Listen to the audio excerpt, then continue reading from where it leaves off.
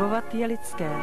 Chybami se prý člověk učí a moudrý člověk dvakrát stejnou chybu neudělá. Než půjdete k volebním urnám, najděte si odpověď na otázku, co předešlé vlády dokázaly.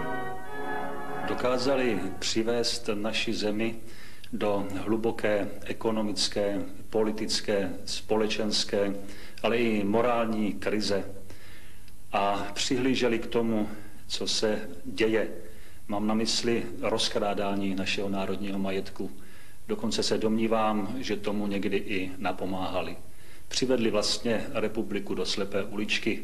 Tím vyvolali situaci, kdy je třeba provést změnu. A to změnu velice důraznou, změnu, o kterou usilujeme.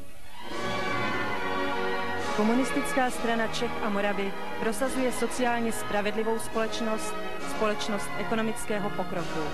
Známe cestu a víme, kde jsou prostředky.